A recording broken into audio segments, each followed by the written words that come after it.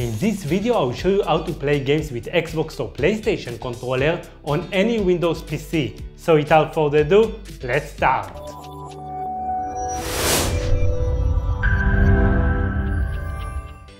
If you have Xbox or PlayStation controller or any other Bluetooth controller, you can improve the gaming experience by connecting the controller to your Windows PC. All you need is a Bluetooth controller of your choice and Windows PC with Bluetooth. But if your computer don't have built-in Bluetooth, don't worry.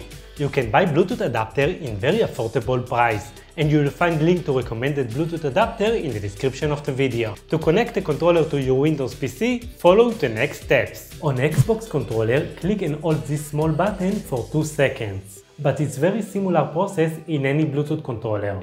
On your Windows PC, click on Start and search for Bluetooth and other devices. Now click on Add device and choose Bluetooth.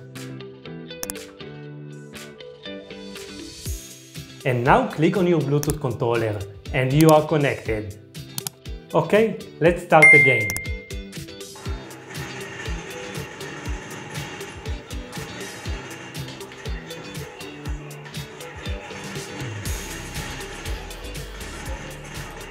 It's definitely much fun to play controller. If you want to know how to play games with controllers on any Mac, click on the next video.